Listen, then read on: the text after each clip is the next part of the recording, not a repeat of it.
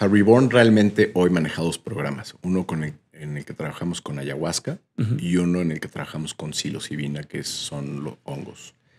Son, son, dos, son dos sustancias que hacen muy noble el trabajo en grupo. ¿no? Este, eh, por ejemplo, una sustancia como LSD, grupos grandes, no, es, es, muy complejo, no, no, es, no es recomendado, ¿no? Para trabajo terapéutico. Este, y, este, son, son, son sustancias que, conocemos muy bien, que, hemos experimentado y que hemos eh, eh, ido trabajando a lo largo del tiempo, eh, y que nos permitieron, bueno, el, primer, el primer programa que nació fue, fue Shine Inside, se llama el, el programa con ayahuasca, este, y, y realmente el, el, segundo programa que es Mind Journey surge del, del, pues, la gente que hace Mind de que hace Shiny Side, de la primera generación, nos dicen que muchos venían de este primer proceso que fue con LSD, que ya nunca lo volvimos a hacer, pero, o sea, pero de, de, ocho que lo tomaron, siete se metieron al siguiente programa y dijeron, oye, yo quiero seguir trabajando, yo quiero seguir como metiéndome en, este, en este tema. Se hizo nada más un grupo muy, muy padre varios hicieron amigos entrañables, o sea, hay varios que ya son compadres, o sea, sí, hicieron amistades y relaciones muy, muy fuertes. Todo este proceso de tantas semanas de, ir trabajando, de entrar en espacios de vulnerabilidad, pues genera vínculos muy fuertes. Totalmente, pues sí, como un grupo terapéutico, vas conociendo la historia del otro, como el otro también te conoce tu historia y al final, eh, eh, bueno, en, en, en, mi formación le llaman grupo colchón, ¿no? O sea, donde puedes, eh, es un espacio seguro, privado, donde puedes abrirte sin que nadie, eh, que es el compromiso y la invitación sin que nadie te juzgue. Claro. Y, y, es, y es grueso, porque de repente nos pasa mucho en los programas que hay gente que me dice, yo he abierto temas personales en este grupo de gente desconocida que no he abierto con amigos que conozco desde secundaria, ¿no? Y, bueno, eso te habla mucho también de, la calidad de relaciones que tenemos. La, la mayoría de nuestras relaciones son bastante superficiales, ¿no? Pero todos necesitamos conexión, todos necesitamos estos espacios seguros para, para poder hablar, aunque a veces no lo reconozcamos. Y, entonces creamos este segundo producto donde decidimos trabajar con, con psilocibina, ¿no? Eh, donde nos apoyamos de Paola como facilitadora eh, y donde entonces desarrollamos un programa totalmente diferente, entendiendo la psilocibina como una, como una sustancia que el tipo de viaje al que te, al que te lleva muchas veces es a diferencia de la ayahuasca, que es un viaje muy, eh, yo diría, con, una profunda, em, con un profundo poder emocional, con una, es como, yo diría que es como un exprimidor de, de todas nuestras heridas emocionales, de toda nuestra biografía, este, y saca de así, de los rincones de la oscuridad, temas que de repente dices, de, o sea, ¿de dónde salió? la tía Lolita, que no había pensado en ella 20 años, que y me llegó la imagen de cómo se conectaba con, en fin, e, eso lo tiene mucho eh, la ayahuasca. Entonces, en la ayahuasca trabajamos mucho la biografía de la persona, ¿no? Este, las diferentes etapas de vida, qué, qué cambios nos van marcando, qué, qué, y eso cómo va construyendo nuestra identidad y, eventualmente cómo, cómo, pues cómo nos lleva a veces a estar en, la situación en la que pues, queremos darle la vuelta o cambiarlo, ¿no? y, la psilocibina eh, me parece que tiene un juego muy interesante con los cuerpos intelectuales la misma sustancia trabaja desde el arquetipo de los niños, de los niños santos. Y, creo que eh, para mí el lema del, cuando vas a trabajar con psilocibina es que se enoja pierde.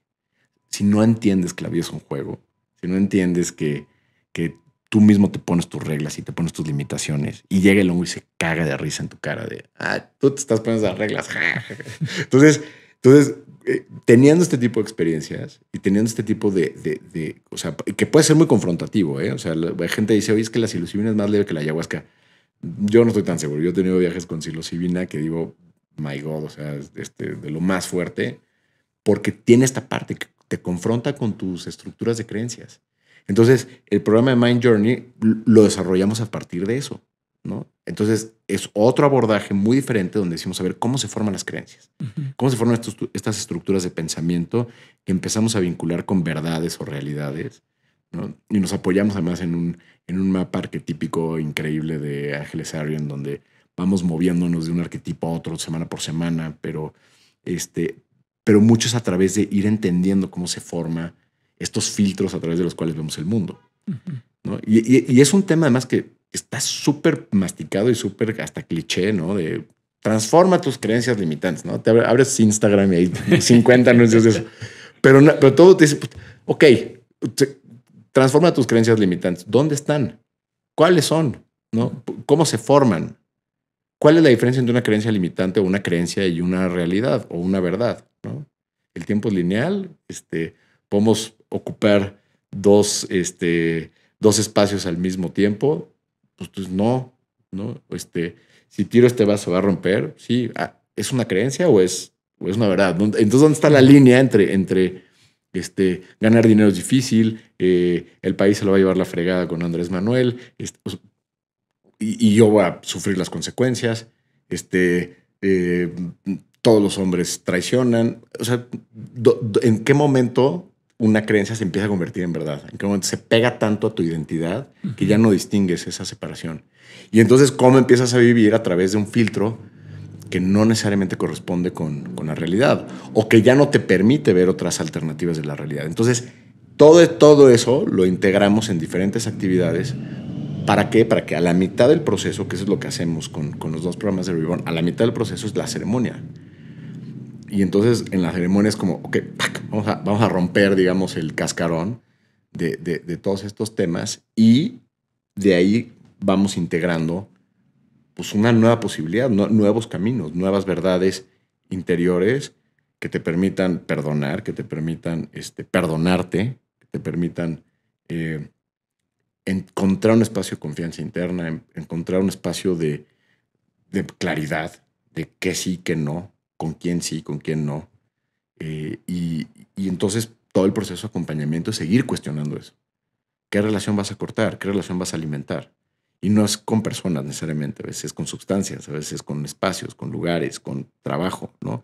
Este, ¿Qué tipo de decisiones vas a dejar de patear? ¿O cómo vas a empezar a tomar decisiones que sean menos reactivas? ¿no? Porque de los dos lados hay su luz y su sombra, ¿no? Hay gente que es muy reactiva, hay gente que eh, tiene que pensar 700 veces algo antes de decidirlo. Cualquiera de las dos puede ser un obstáculo, ¿no?